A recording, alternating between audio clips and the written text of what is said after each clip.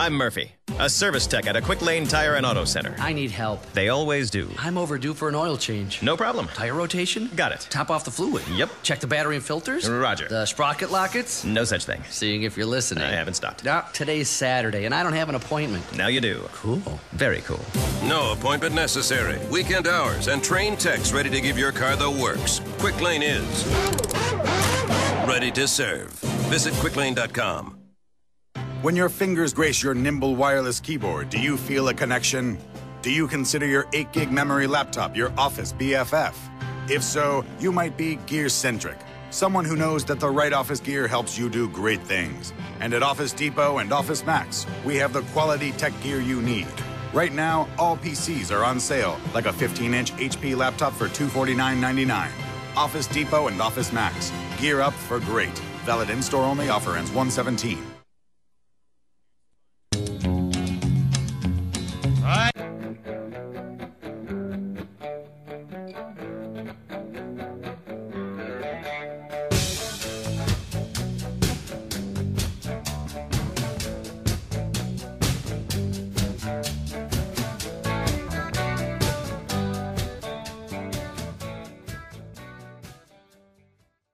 Is Justice for All. I'm George Yates, and um, this is uh, uh, Joanne Mertens in One Woman, uh, One Woman and Three Prisons.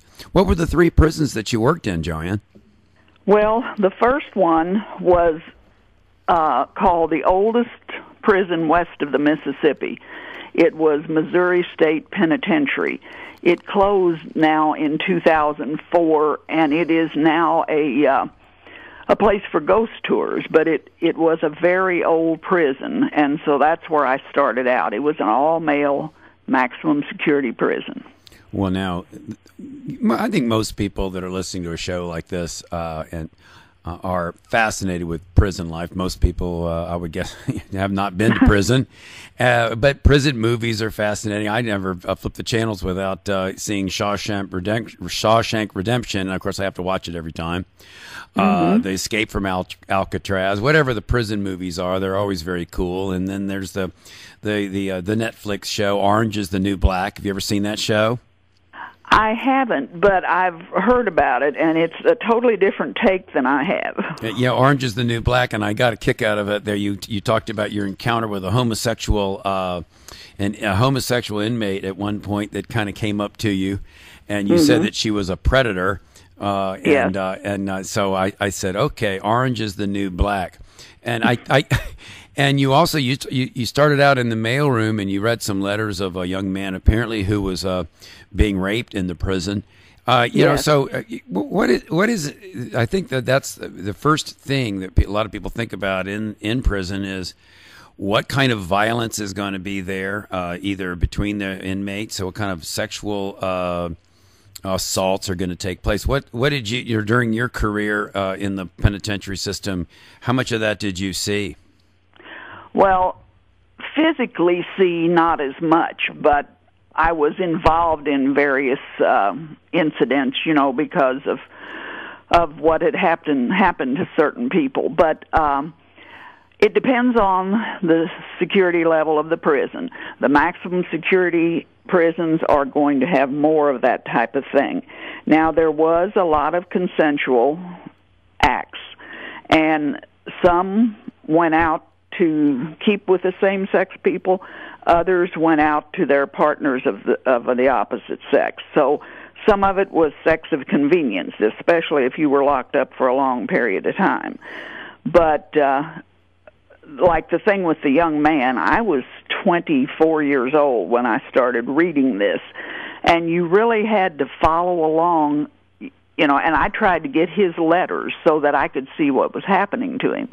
But I was so naive that I didn't understand rape in a prison, and so I had to ask a couple of the males that worked in the mailroom, and uh, they had a great big laugh over that one.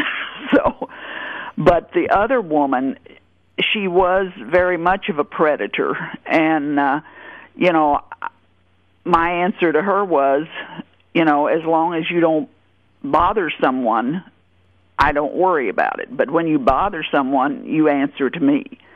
And so, you know, there's been various different things about that.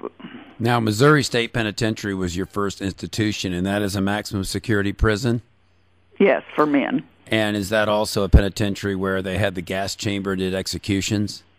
It was, yes. I noticed that in your book here, and the name of the book is One Woman, Three Prisons, you had a photograph, I guess, from the wall of the Missouri State Penitentiary that had photographs of all of the men that had been executed there by the gas chamber uh, uh, in, in, the Missouri State Penitentiary. Um, were you there during executions during your time? I was working there, but I never had to witness one. Uh, uh, several people I know did, and you know it was not a pleasant experience at all.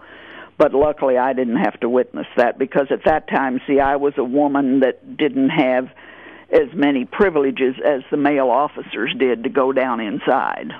Yeah, last week we had a woman on. Her name was April Moore. She's a writer from Colorado, and she wrote a book called Folsom's 93.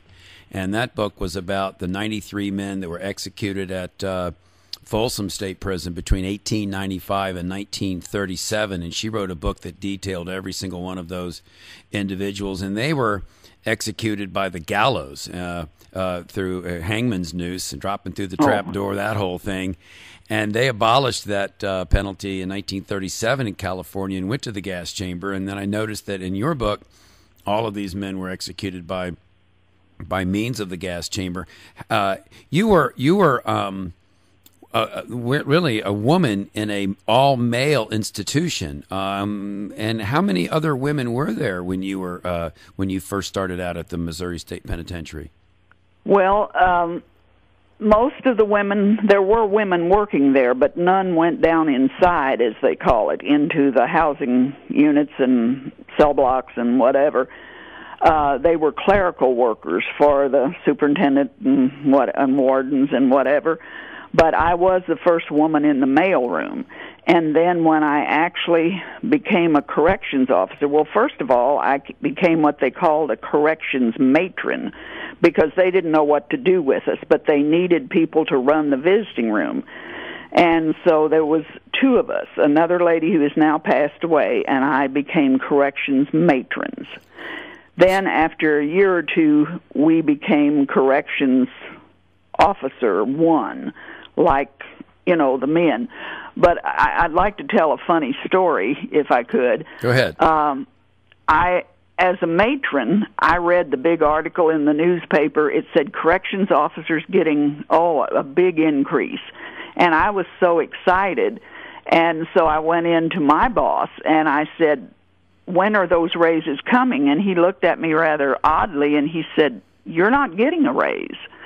And I said, "Why not?" He said, "Because you're a corrections matron. You're not a corrections officer. Well, you, it's you, for you, the men." You you talk about that throughout your book, how you encountered that glass ceiling, where oh, you yes. you believed that you were qualified uh, to move up in the ranks, and uh, you you were number two at at, at, at I guess at a couple of institutions, right? But mm-hmm. you never you were ne- you were never elevated to the number one position. Is that right?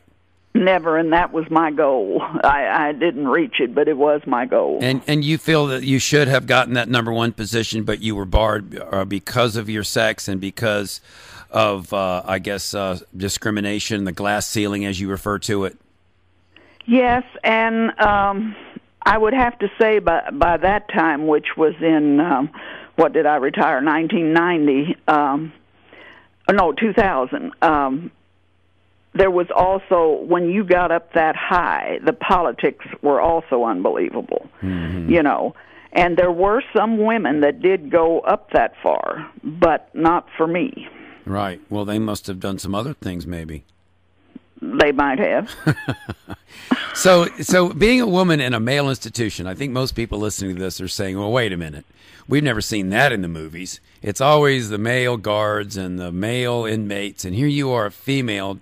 Actually down there in the trenches, as they say, with these male inmates. How did that work? Were you sexually harassed by other inmates? Uh, did you see encounters between other female guards and inmates? What, what was that like interacting with men on a daily basis, especially men, hardened criminals such as this?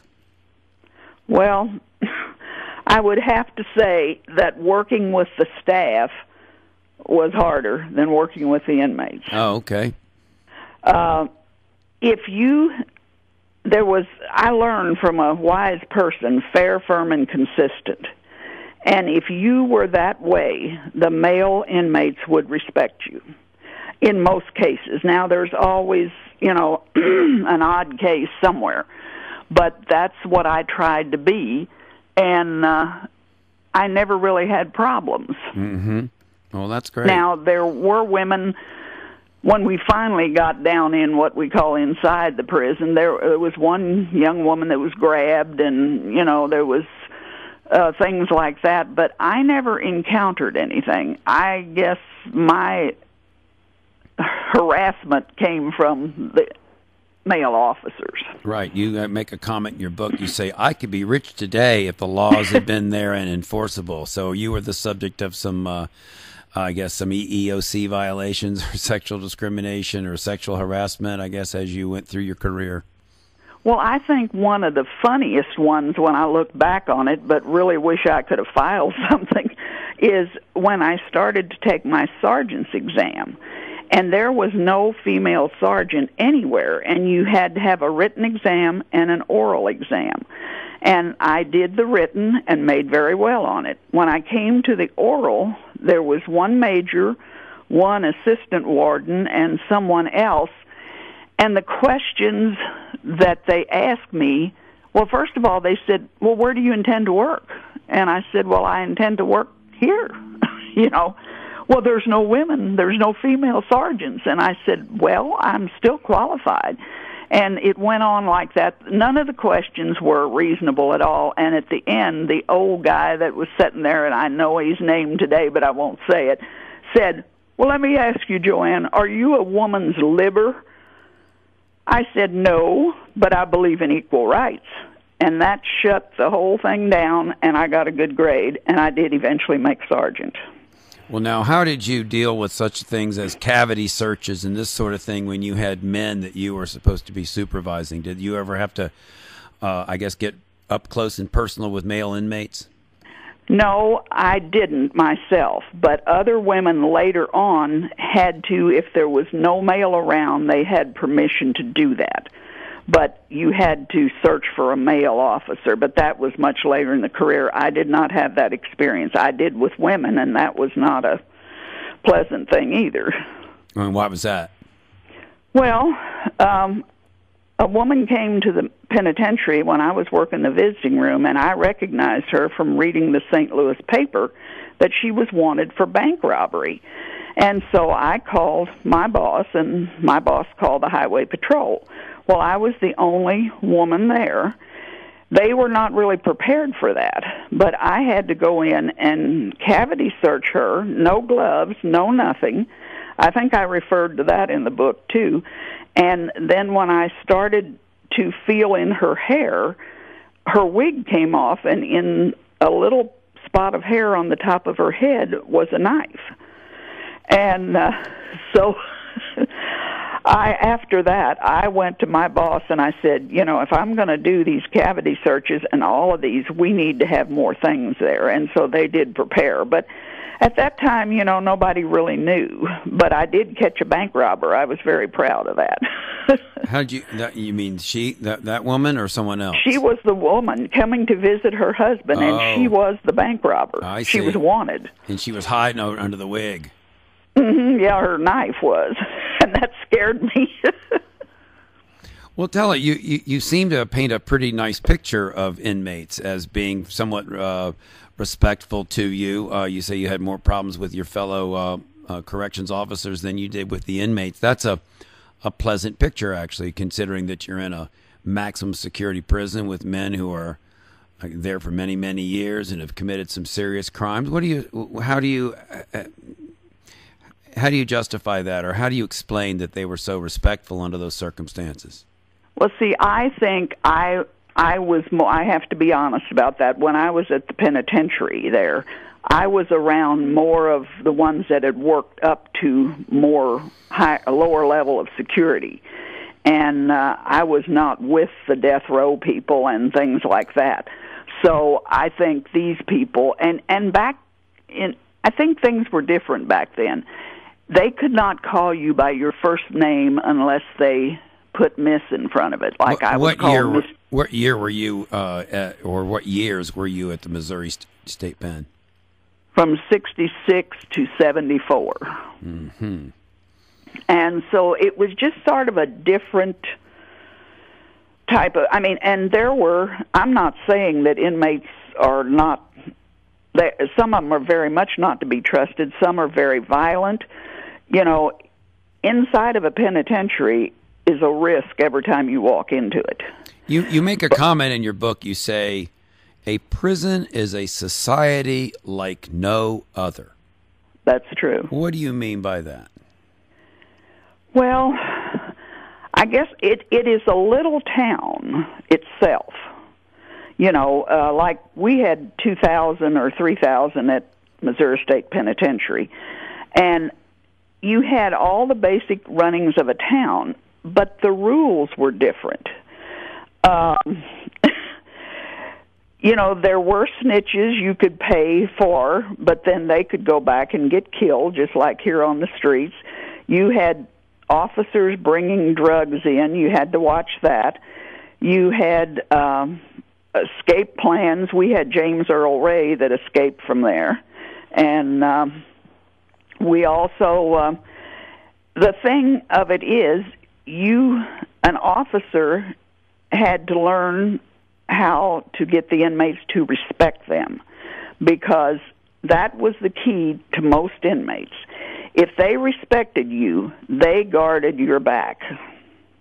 And I have an instance that I put in the book. I don't know if you remembered reading that, where it happened at a different security prison. It wasn't at the main penitentiary, um, where I knew they had my back.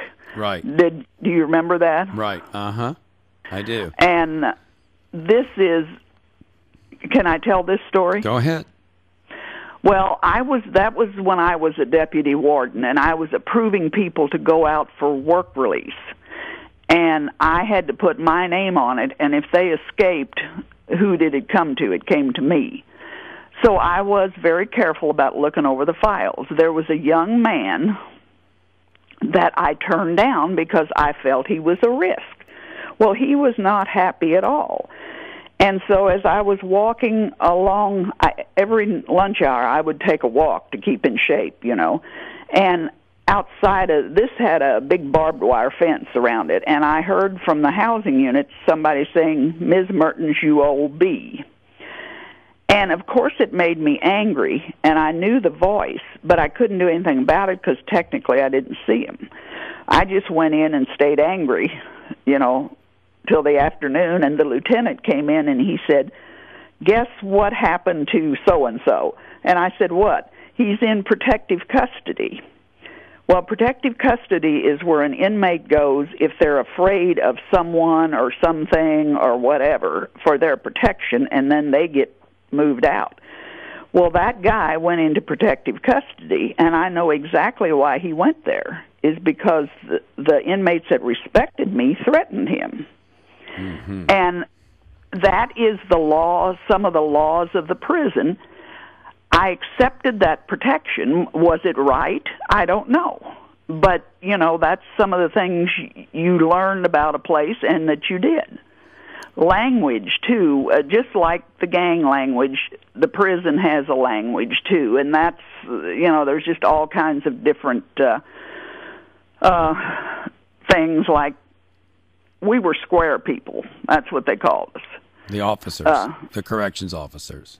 Actually, anybody that wasn't an inmate Did was you square. did you- did you uh, adopt their language uh, at all, or did you continue to speak your language and they would speak theirs? I tried to do it, but occasionally, like you get so used to it. If somebody, if I told them to send me a note, I would say, "Send me a kite." Because that's what they used kite as note. Yes, and so I did adopt some of it, but I we tried not to. But you know, you you kind of just did. Tell us It is about. just- tell me about. Uh, you mentioned about drugs and uh, uh, that drugs have a strange way, strange ways of getting into a prison. Yes. Uh, do, do inmates uh, regularly use drugs in prison? Are they able to get them pretty easily? Tell us about that. well, I'm not speaking for anything today. I'm speaking of when I was there. You're right. But and, and, and before we get into that, you actually served at three correctional institutions. The first one is the Missouri State Penitentiary from Yes. 66 to 74. You served at the Renz Correctional Center from 74 to 1982. And then your third facility was where? Well, actually, 82 is when I got my big promotion. I was still at Renz. Right. It. I didn't go to Central Missouri Correctional Center till about 97. And then you and you retired in 2000. So your final institution, you were there three years. Yes. And now you live in Virginia, right? Yes. Your your uh, your son, whom you raised all by yourself, really single mom Yeah. all these years as a corrections officer, very commendable. Um, and your son, uh, despite some growing pains in his teen years, apparently went on to uh, Georgia Tech, got a PhD in physics. He's a doctor, uh, doctor now in, uh, in in physics, and he works here. What at Langley? Uh, NASA Langley. at NASA Langley. So very good, uh, very very good for you. And you've got some great grandchildren and some grandchildren. So good for you with uh, you know raising uh, this son um, under very. Uh, I'm sure difficult circumstances your whole life. We've only got a couple more minutes to go to break. If you've just joined us, um, I'm George Yates. Uh, this is Justice for All, and uh, my guest today is Joanne Mertens. She's a career correctional officer in the Missouri State uh, Penitentiary System. And you now uh, live in Virginia, and I think you actually uh, have not really completely retired, right, Joanne? You still working in some kind of corrections or volunteer volunteer work? Because I think you never really got away from this. You still love this work, don't you? I don't want to get away from it. I did work for almost 10 years here in the greater Williamsburg area as a probation officer, two days a week. But now I am retired, but I'm starting to volunteer. Uh-huh. I still want to work with the misfortunate. It's just something I know and, and I communicate with, and that's what I want to do. Well, that's great, you, and you're you're probably really very good at it. We're going to go to a break right here, and when we come back, we're going to talk uh, with uh, Joanne Mertens about uh, racism in the penitentiary, about gangs, about violence, about what what guards do, and all of the other things that uh, are actually quite a bit of interest when we're starting to talk about uh, maximum security um, institutions. We'll be right back with Justice for All. If finances are holding you back from enrolling your kids or grandkids in private Christian schools, call the radio station at 488 1010. We have a partnership program with several schools on the peninsula and the south side that allows us to offer a 35% discount off tuition for preschool through the 12th grade. Give us a call today at 488 1010 or visit our website at tuitionsolution.org. Did we mention we added daycares to the site? Tuitionsolution.org. Have you or a loved one been accused of a crime? If so, the law firm of George H. Yates knows how to navigate the legal system and offer you the best possible defense. George is a former prosecutor and has valuable experience from both sides of the courtroom. Pick up the phone right now and call 757 491 8800. That's 757 491 8800. Great legal advice does not have to be expensive. Call 757 491 8800 now for a free consultation.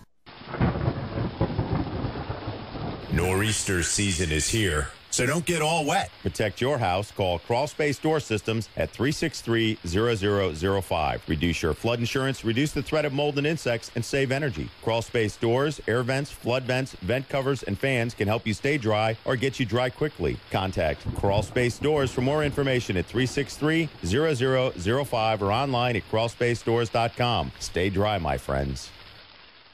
You are out of order. You're out of order. You're out of order. The whole trial is out of order. They're out of order. Oh, I love that clip. I tell you what, you know, Justice for All, it's the greatest movie. Crazy. Al Pacino, right? Yeah. Anyway, so we're here with Joanne Mertens. Listen, um, I'm George Yates. This is Justice for All. Uh, one woman, three prisons. Joanne Mertens. Uh, what was your title uh, um, as a you were first a matron, and then later on you became a superintendent one, or what was your title in the in these uh, in these prisons, Joanne? Well, I started out as a mail clerk, which was the lowest position there. Right. Then I went to matron and corrections officer one. Then I became a corrections officer two or sergeant, as you would call it. Then I wanted to go a little direct, different direction because of the night work and and my son. So I went to a record officer one, and then I went to a record officer two, and then I went to. At that time, they called them superintendent ones. Now they're more deputy wardens, and I like that title better. Well, you um, you mentioned in your book we talk about we t- we touched briefly on, on this uh, a few minutes ago.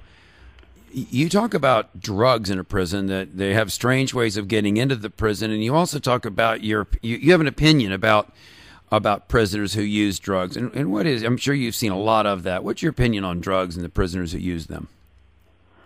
Well, I like I say, I can't speak for any other place, but there were quite a number of drugs in the prison systems, and not that we didn't try to keep them out. We did, but um, there was something as simple as homebrew. I don't know if anybody knows what that is, but you could actually ferment anything, and it would become homemade beer, I guess you'd call it.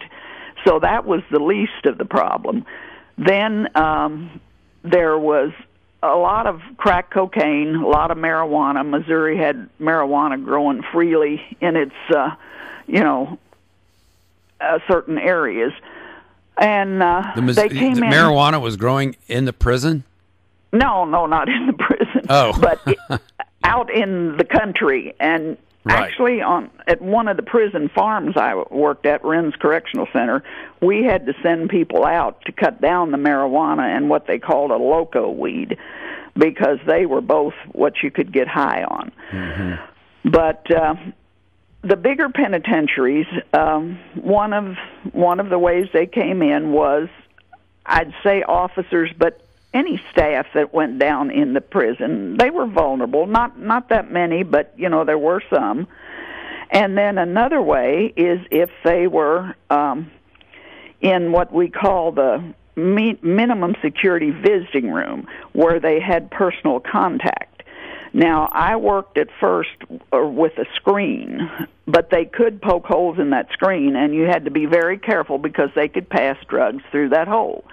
But then, if they were in the visiting room where they could have uh, a face to face visit, it could be brought in anywhere. You could search and search and do whatever you wanted to do, but it still could come in. I had to go to one institution to search babies because they thought the drugs were coming in that way. Uh, I didn't find them, but that was very hard for me to do was go search little children. One was in a infancy.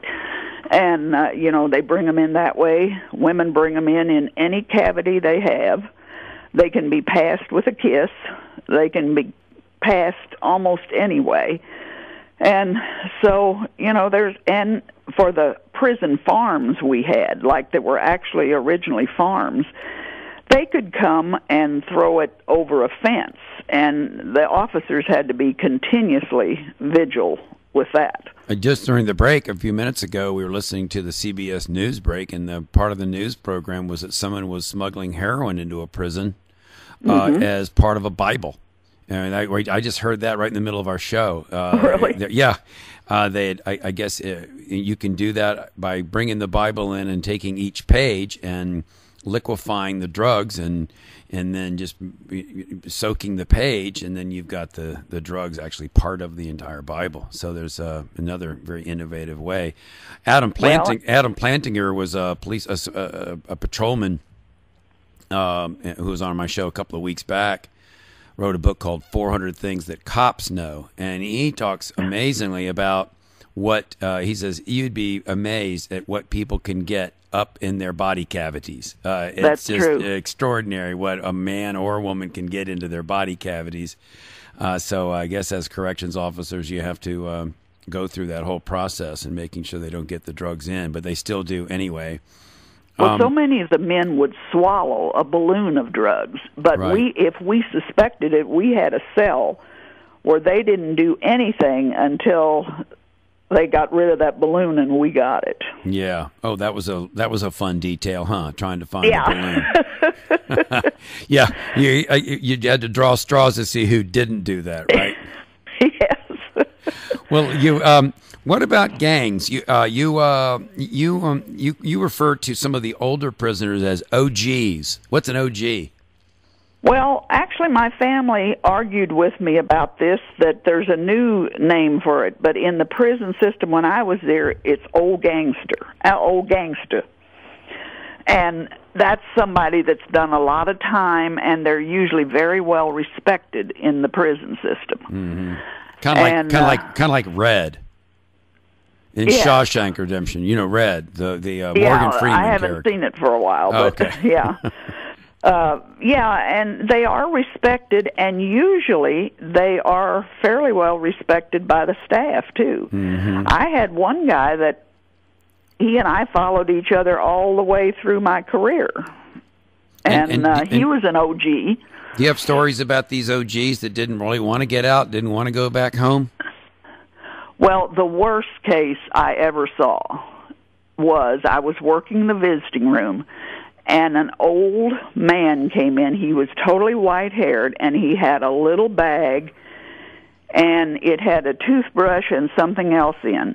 He was an old timer that got released and I guess none of his family were left or didn't want him. I don't know which it was, but he wanted to come back in. And the front gate officer that worked with me and I didn't know what to do, but we had to turn that man away. And I guess today you might call somebody, you know, but back then they really didn't have uh, too much reentry or, or things of that sort that they have today. So uh, it just broke my heart that that man had no place to go and he couldn't adjust to society. There, there. Uh, that's something that I've heard for years. I was a prosecutor back in the '80s, and I've been a criminal Mm-hmm. defense lawyer now for more than 20 years.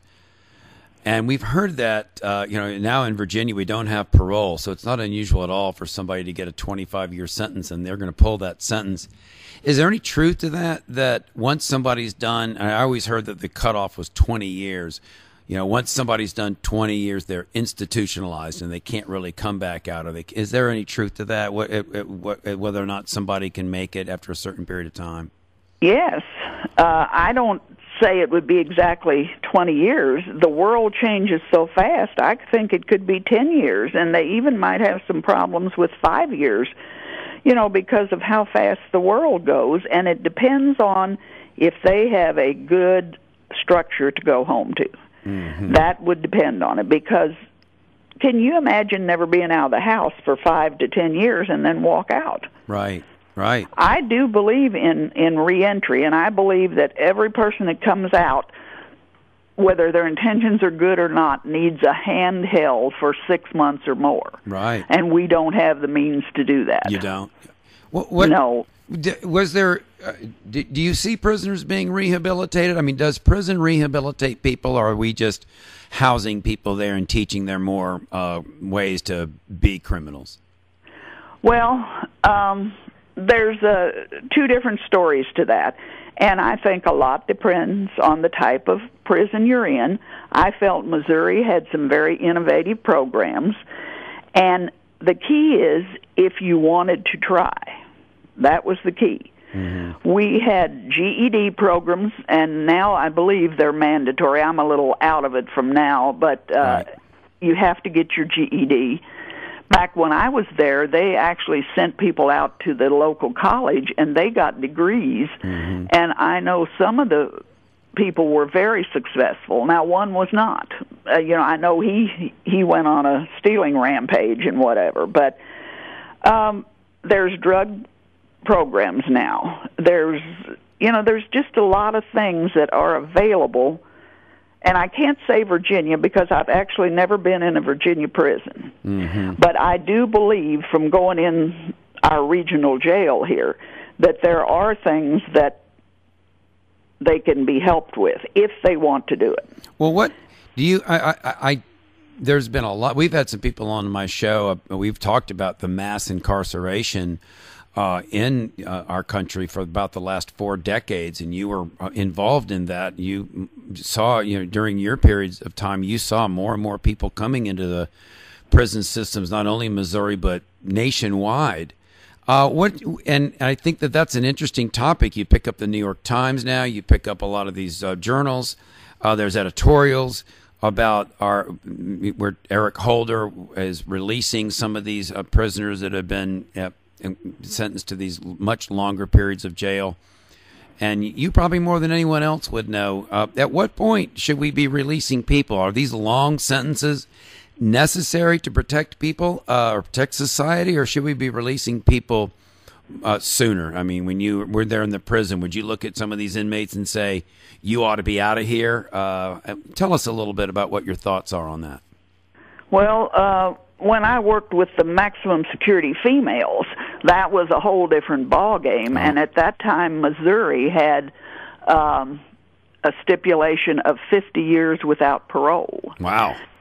And now everybody goes out on parole automatically in Missouri. So they have so parole they, now in Missouri again. Yeah. Oh, I've never known them not to. Well, we abolished it in Virginia, though. See, so yeah. Mm-hmm. But I think it's a good thing because there is some supervision. You know, right. yes, it takes more money and whatever. But anyway, um, some of those women were doing 50 years. They called them 50 year stips, is what we called them and see, that's another prison jargon. But uh, some of the women was a crime, and that's with men too, a crime of passion that had to do with a spouse and our girlfriend or whatever, you know. And some of those would not commit another murder. Right. And I think they could be left. And in fact, I think they let, uh, the last governor of Missouri let almost all the 50 year stips out. Um, but there were some that I, I read the files on, and they tell you never to read a file, but I had to. Um, but some of those were cold-blooded killers, and you know they they need to stay. Right. So that's, I guess, the interesting. Uh, you got to make that call, don't you?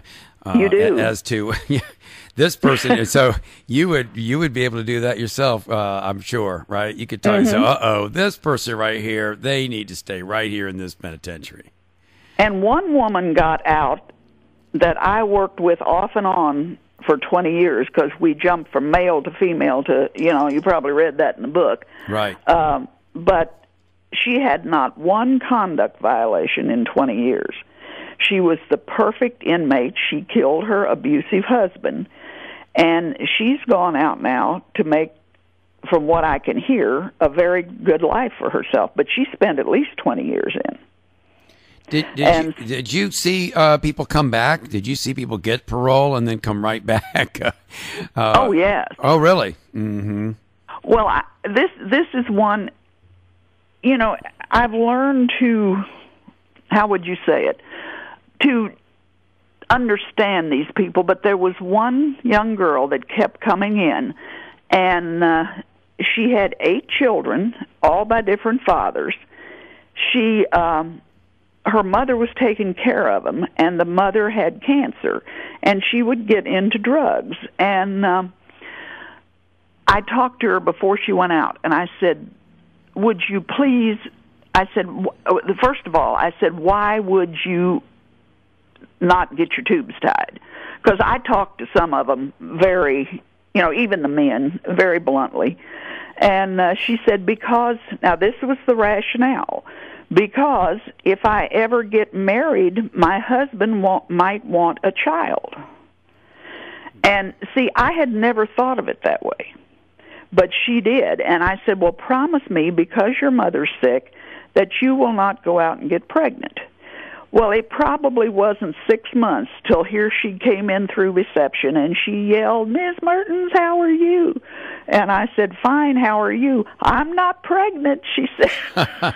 what was she doing back? well, at least she wasn't pregnant, but she'd she'd broken the law. What was her yes. crime? Yes. What was her and crime? Some, that she, what was her crime that it was got something to do with drugs? Oh yeah.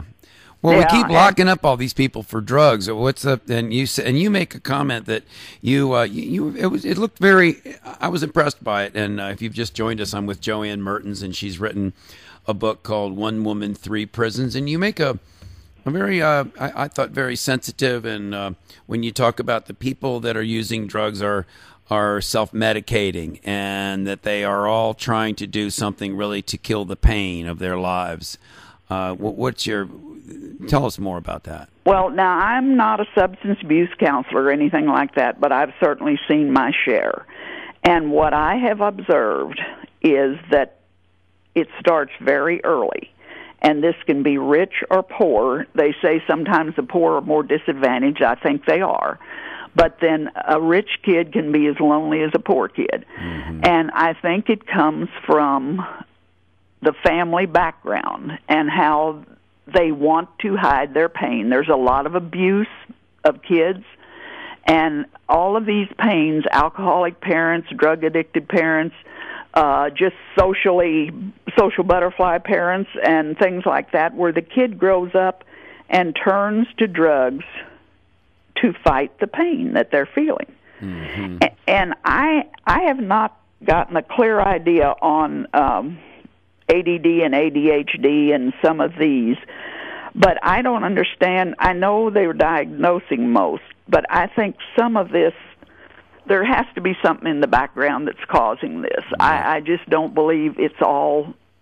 They're not born with it. It's just a And shame I that they're. just In, it seems, and and they do have now some uh, drug treatment programs in prison, but aren't, shouldn't these people be somewhere other than prison? Shouldn't they be? Uh, why why do we house uh, you know drug addicts along with all the other violent criminals? And and along and while I'm asking you that question. What about the mentally ill? Uh, how many of these people were in there that you looked that you thought were mentally ill and also didn't deserve to be in prison? Well, the mentally ill are a totally different case, and it's very, very sad because we do not have facilities to take the mentally ill. Uh, they they've closed almost all of that down, Right. and and many of the mentally ill are homeless because they don't take their meds, they can't work, they can't do all of this, so the only place they've got to go is prison. I remember we had one woman that killed another woman in a um, mental hospital, and guess where she came? She came to us. But she was mentally ill and came from a mental hospital. Yeah, it seems like uh, in front, we have sort of three different. And I, and I know that we can stratify prison life in so many different ways, but you've got people that are that are violent, and then you've got the people that are uh, mentally ill like that, and then you've got the people that crimes are mainly involving drugs. Does the prison system try to do a good job of sep- separating or segregating these people so that perhaps they can get rehabilitated and not be the subject of violence and other kinds of um, you know problems? I think, as far as I'm speaking of Missouri, I think they do, but it's still it's still hard. Right. And I would like to say something right now. I do have a very strong feeling about drugs. I do not believe that pot should be legalized ever. Right. And I why do not bel because to me, no matter what you say, it's a gateway drug. If you're sitting there high on pot and they offer you cocaine or heroin, you're much more likely to take it. Um, I think our kids are just overwhelmed now with pot and legal prescriptions. You know, I, it just really scares me how many are dependent on these kind of things. Right. Now, And- I don't And the whole thing, the whole thing about mental health is if you start reading about mental health, the first thing uh, in order to get mentally healthy, if you've got mental illness, is to make a commitment to reality. And and marijuana, despite the fact that it's not as harmful as some of these other drugs, and no, no doubt about that, it's not as debilitating as the cocaine, the heroin, and the so on. But there's no question that when you um, when you smoke it, you are you're not in reality for a while. You're somewhere else, and You are. and therefore your chances of mental illness increase. I don't know, say everybody that does mar- marijuana is Mhm. mentally ill, but if you're already mentally ill or predisposed to mental illness, then it can't certainly help you and getting you know and, get, and getting your mind right. You can't make that commitment to reality. Same with alcohol. If you're going to drink moderately, that's one thing. But the people that drink that drink too much, well, now they're not based in reality either, and that's what all drugs really do. Well, and at, at, we used to do intelligence tests on people coming in, and I happened to run across one person who came in when he was like 18 or 19 for just a small drug charge, and he was listed as highly intelligent. He came back several years later after marijuana, cocaine, and whatever, and he had gone down below average intelligence. Yes. So I think it does affect your brain. Oh yeah, I used to say this about marijuana. It, it, it seemed like it knocked everybody down around 10, 15 points of IQ. So Mhm. if you got some highly intelligent guy, you know, he's already got 140 IQ. He's brilliant. He, he Mhm. smokes a little pot. He's down to 125. No, no problem. He's still smarter than everybody in the room. Yeah. But but if you've got a 100 IQ or a 95, and now you're smoking marijuana, you're knocking yourself down to the 70s, and you're you're really really hurting yourself. And I do think that there's some truth to that. That it does slow you down, and um and just anyway. But uh, I want to move on before because we've just got a few minutes left. And if you've just joined us, uh, and, and thank you for being with us today, uh, uh, Joanne. It's been been a fun interview so far. What you Well, talk I've enjoyed it. you talk about gangs a little bit, and I think a lot Mhm. of you know while we're this is a radio show, it's entertainment. Tell us something sexy about gangs. I know that there's all kinds of gangs in the prisons, and and what what are your favorite stories about gang life while you were uh, corrections officer? Oh well, I don't know if I could tell you anything sexy.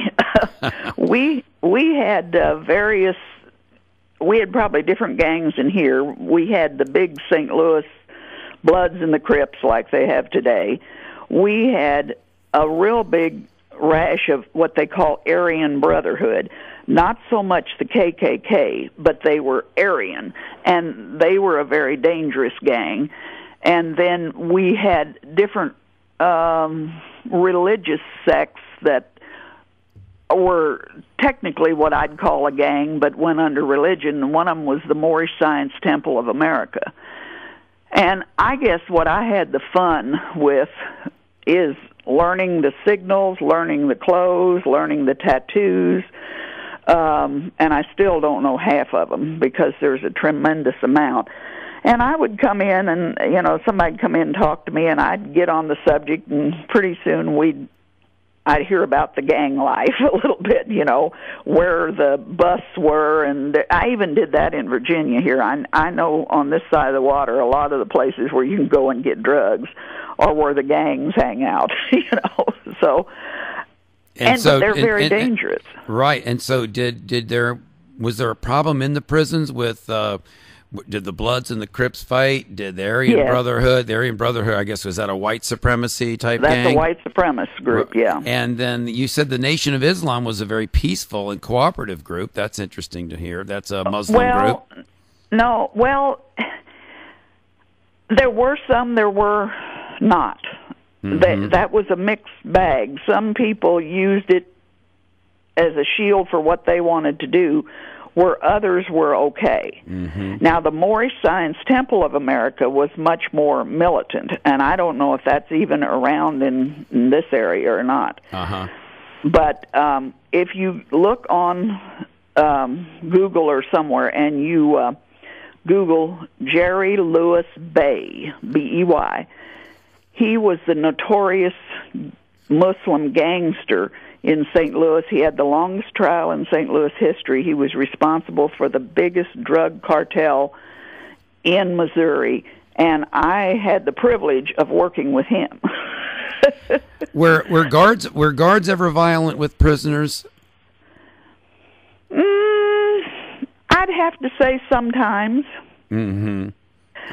Uh, we had what they call uh, use of force investigations, and it's just kind of like the police today. Is it or isn't it? How far does it go? Mm-hmm. you know, and we had to settle that. And some were over violent, and but as far as an inmate, I saw a little female inmate come over an officer with a shield in front of him when he let her out of the unit, and she just beat the heck out of him. So you know, I think she got a little few little repercussions there, you know, from that. And you saw the But- ri- and you saw the rise of women prisoners more so too during your career. More and more women Yes. coming into the prisons.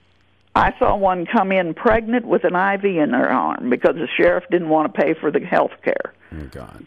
Well, listen, we've So- only got just a couple more minutes. Is there anything that you would like to say? I know I've been asking a lot of questions that are of interest to me, but we've just got a minute or two left. Joanne, tell them what what is there anything that that you would like to talk about in the next uh, minute or so that we haven't really discussed?